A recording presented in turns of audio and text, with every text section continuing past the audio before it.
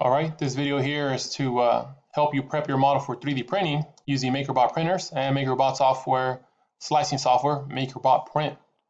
All right, so first what you want to do is make sure you have it downloaded. I don't know the URL address of the website to download it, so I'll just perform a Google search for MakerBot Print. There you go, just search it up in Google, and there it is. Download MakerBot Print 3D. Click on that one, and there it is, download. It's a free download, works with MakerBot printers and it's a free download. There you go. It's slicing software.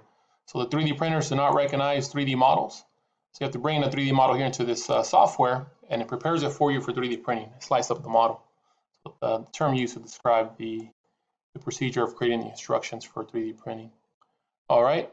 So now I'm going to find a model for me to print. So I'm going to thingiverse.com. That's a website uh, hosted by MakerBot as well. So MakerBot hosts this website, Thingiverse. It's an online community where people go on there and they upload models for 3D printing.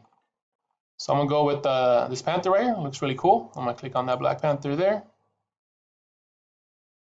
There we go. So somebody made this. Maybe this guy right here. Uh, WLAN Cabell.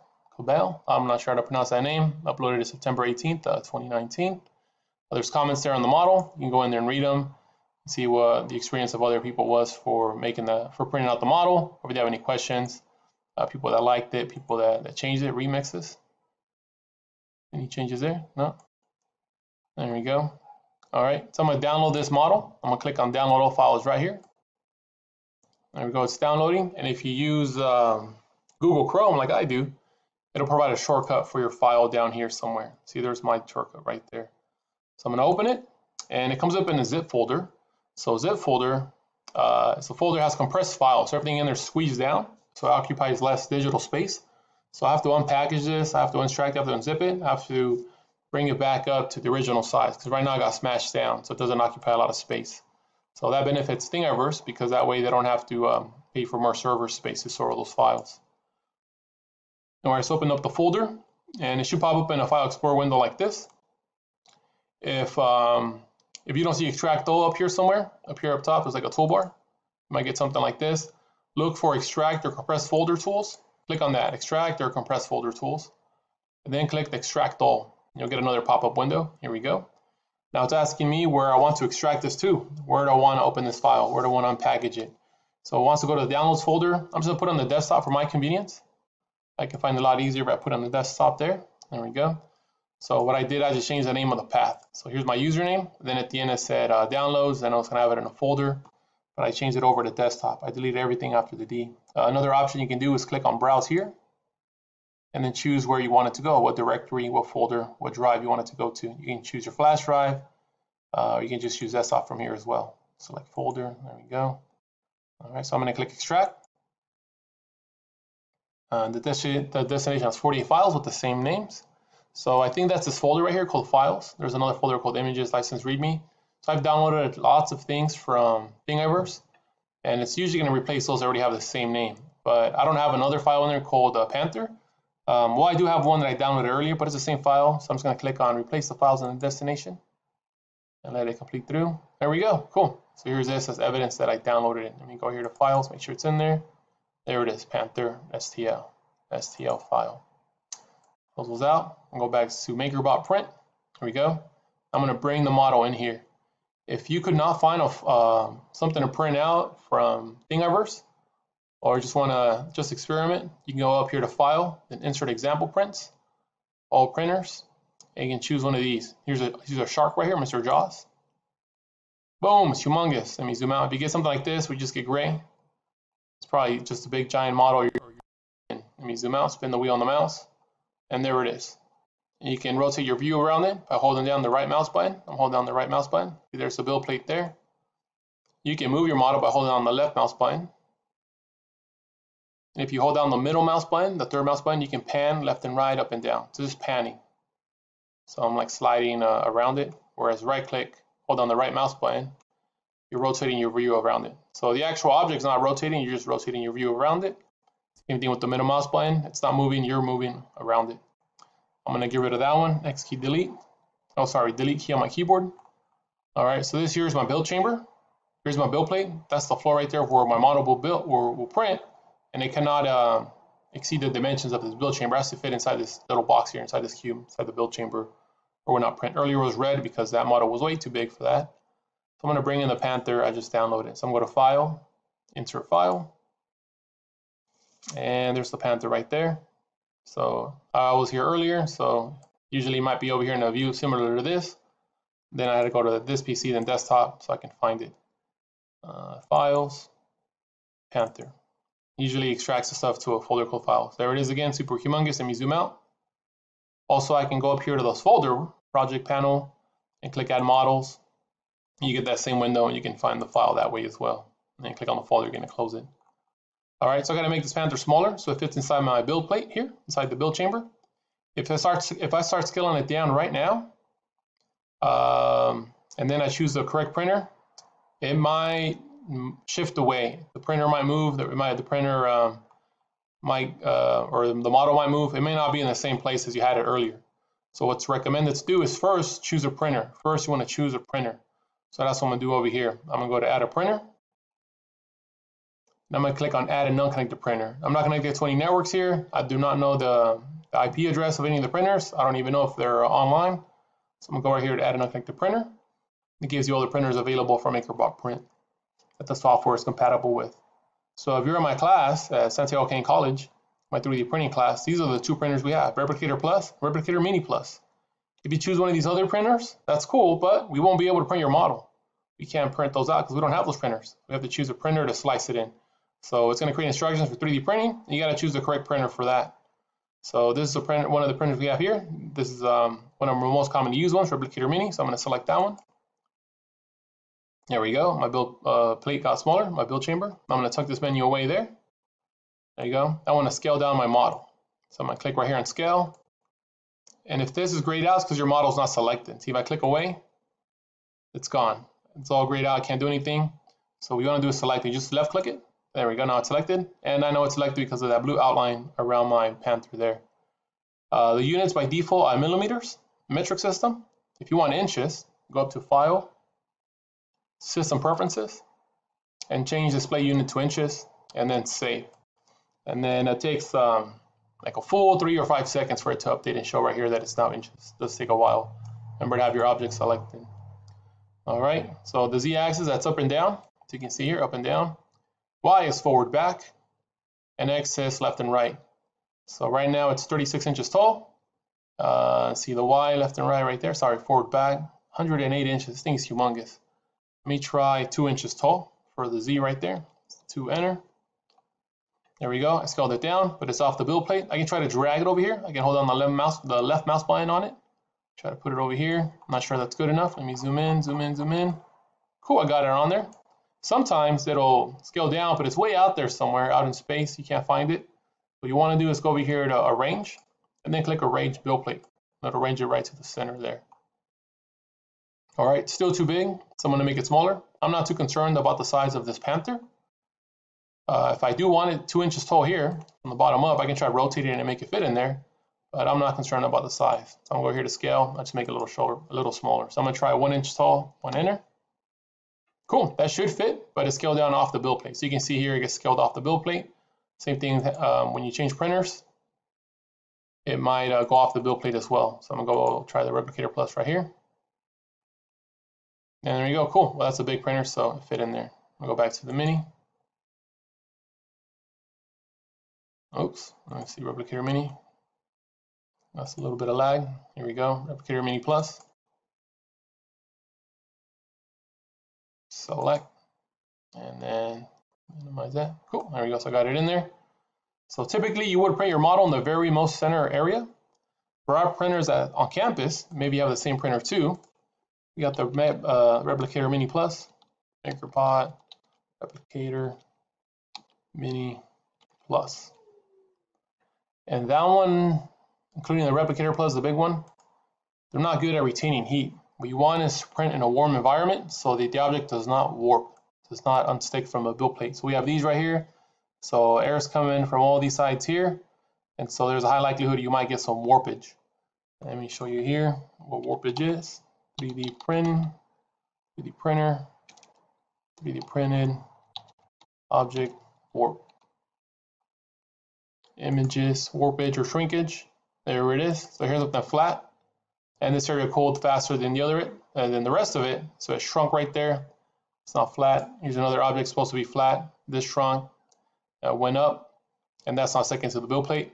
Sometimes it might push it up. It might push the rest of it up up here, and the extruder will hit it and knocks it off the build plate, and you won't get a good print.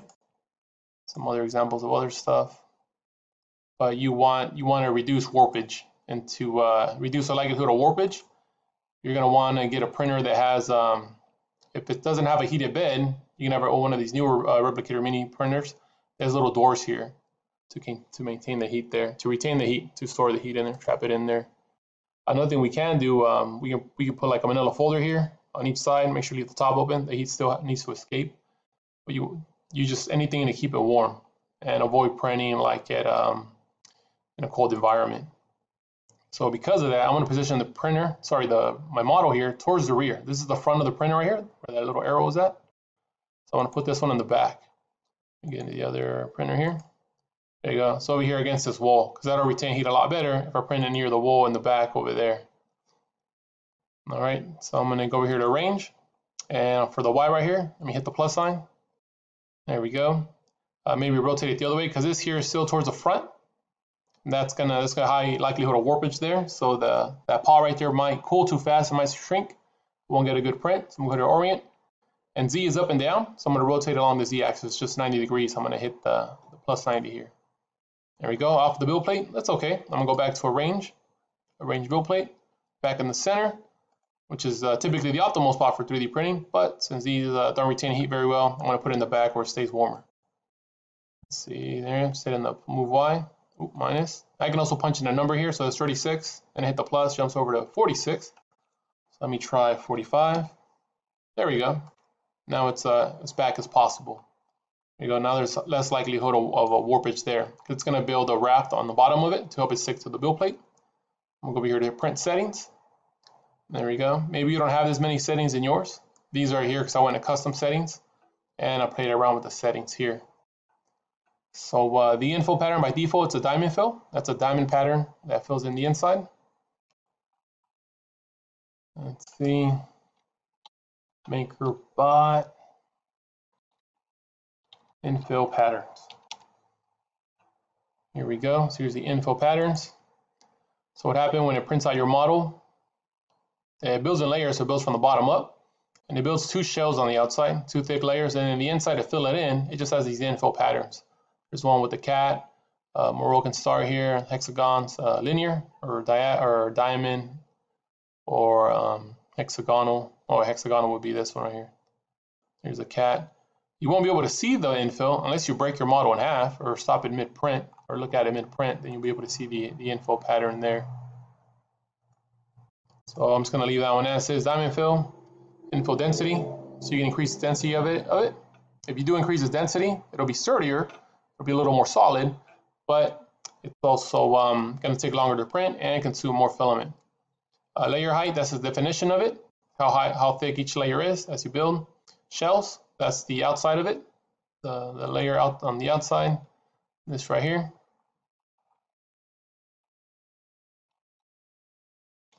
Shells. There we go. Two should be fine. These other ones over here are just excessive. Uh, two should be fine four to make it sturdier, but five and above I, I would say is excessive. So leave those at two. Uh, support type, make sure you add break uh, breakaway support in there. There we go. And support on the bridges. So this right here is a bridge, the underbelly here. That's a bridge. So the supports are for overhanging parts. So for instance here, the, uh, the head of the Panther is overhanging. So if it starts 3D printing, remember build, building layers. If there's nothing there to for the filament to land on, it's just going to fall to the floor, and then you won't get a good head. You'll get spaghetti. So you're going to need to add supports. That way it builds a support structure here, so the filament lands on something, and you'll get the head. And then support on the bridges, and that's the parts right here that are bridged. It's like right there. From here to there, the, the, the belly, the torso, that's a bridge. And sometimes, depending on the model, uh, the, uh, the model itself might work as structure for the bridged area, but other cases it may not. These other options here that I have that may not be on yours, Let's go to custom settings. You can go through here, roof, shells, roof, floors. You can even go here to extruder, change the extruder temperature, but I would uh, advise against that. Uh, you can also change the uh, retraction distance. This is something for um, if you're if you're using a different type of filament other than PLA. The default settings here for the extruder for most of these are already optimized. So um, you would only do that if maybe you want to make something sturdier. Just change the shells uh, from two to four. Uh, if you want to make something uh, smoother, just decrease the layer height of 0.1, so from 0.2 to 0.1. Also, to make it sturdier, you can increase the uh, infill density to 20% instead of 10%. And you can always go ahead and choose any of your patterns here. Just remember, the more uh, the complexity of the pattern, the longer it'll take to print out. Floors, I will leave alone. Supports and bridges, um, that's okay. The default settings are okay. Just make sure to activate them. I will not add any more rafts to the bottom of here, to the bottom of it, because when it uh, when it prints out, creates a raft right here, you can remove it, but the raft helps the model stick to the build plate. I want to leave that alone. All right, so I got it uh, in a good position here. Uh, all of this is the default settings. I just activated the breakaway support and support on the bridge, so we'll see what that is in a bit. So to create the instructions, you can click on the clock right here, estimates and print preview, and if you notice, we started out down here choosing a printer first, then we just worked our way up, scale, orient, arrange. Uh, arrange just to put it back in the center, and then settings. All right. Slicing, slicing, depending on, depending on the complexity of your model and the, uh, the settings you may have put on there, may, it might take longer to, to slice. So right now, just creating the instructions for the model here. Cool, there it is, preview of how it will print out. There we go. And change this from up to layer. Yeah, it's up to layer already. Cool. Play animation. So the yellow part in the bottom, that base, that's just a raft, helps the model stick to the build plate. The green, that's your actual model there. I can see um, the two shells there. A little bit of the uh, diamond shape in the inside, not too much, it's not wide enough. Got that in there. Here's a breakaway support structure for the overhanging parts and for the belly, the bridge there. There's the tail there. It's not touching the ground. It's close to it, so support there for the ground as well. And then just layer by layer. I've also got to position this so that the um, the panther is uh, standing on its tail, on its head. But honestly, I don't think that um, the print will come out too good. You also want to reduce uh, the build the num the, the space that your model will occupy on the build plate that it will share with the build plate. This position is okay it will print out better. This way, I could have stand it up, but that'd be really tall, and it might be higher likelihood of something bad happening. It might get knocked down by the extruder, and it'll fall down, and I won't get a good print there. If it was wider, the build plate occupied all this other space, that will not be good. Sorry if the raft occupied the rest of the build plate. I was printing out uh, maybe three of these models, because I could have brought in three of them, had one here and here, the one over here will not be a good print. It would most likely warp the the edge that's near the uh, the front right here would more would be more likely to unstick from the build plate. So there it is. So you can see the diamond pattern there now. The infill. All this is hollowed out right here. So just the two shells on the outside and then the, that diamond waffle pattern on the inside. It's filling it in. Now it's building the outside shells there. There it is. Let's pause this up and, and just drag this all the way to the top, see the final product. There we go. There's my model of my Panther there, low poly. So the instructions have been created. Can't do anything with the instructions unless I export them. So to export them, I'm gonna go down here to export. And I'm gonna choose the place to put it. I can go to the desktop and create a folder where I can turn everything in. Uh, Panther, Panther, I'll just call it Panther. Uh, put your name on it, I know who to return it to. If you're turning it in something to me, Panther Adriel save, and that's just the instructions there. And there's the um, estimate uh, time. Currently it's 7.01, telling me it'll take an hour and two minutes to print. And how much filament it will use, 7.7 grams of the PLA filament there. So one hour, that's not too bad. You want to not to try to print things out that take too long to print because the longer that it's on that build plate they're printing, unsupervised, you're not looking at it, the higher likelihood of something bad happening. One hour is not too bad, doesn't use that much filament. So that gives me the instructions there. I just exported them out. If you want to save this project here, the MakerBot build plate with uh, with your model there, the way already um, it is prepped, for that you go to File, Save As, File, Save Project As. Um, I'm going to call that one Panther as well. It'll have a different extension. Save, this one's dot .print, and the other one is dot .makerbot. Save. There we go. So I got that one. So I got the export to print out the instructions. And then I got the other file save, save project as for this. I, I can go back to it and make adjustments if needed. And that's it. So remember, if you're using a MakerBot printer, Replicator Mini Plus or, Rep, or Replicator Plus, you want to position it in the rear so it stays warm. So key things to take away, position it in the back. If you do not have a, a heated, bit, uh, heated uh, build plate, or if you don't have um, good heat retention, print it towards, towards the rear anywhere, the hottest place that you could find on your build plate. So if you have a different printer, maybe the hottest place is in the center. You would you would print your model in the center. If not, ours, uh, the Replicator Mini Plus and Replicator Plus, this part here in the rear is the hottest spot. Uh, another thing to take away here is the raft. So try to minimize the size of the raft. I can't change the size of it. I can remove it, but you will you will need a raft. You will want to have the raft. Just don't have your model so that um, it occupies a huge spot on the build plate. It'll build a, build a bigger raft, and it'll be more likely to warp, and you'll get that shrinkage as well. Uh, extruder speed, extruder temperature, want to leave that alone. Uh, that's something you would tweak if you're using different types of filament other than PLA, but that you will leave alone. Uh, the only setting change I would recommend if you want to make it sturdier, change the shell uh, count from 2 to 4. Anything more than that is just excessive. The infill density from, from 10 to 20%. More than that is also excessive. It's just un unnecessary. All right, so there you go. Thank you and have an awesome day. Thank you for watching.